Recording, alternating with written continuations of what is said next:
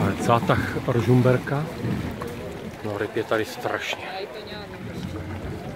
Plnou síť, vonou nevod zatáhli a teď to asi budou vagrovat ven do přistavených nákladních aut. Je tu spousta diváků. Vstupné zdarma.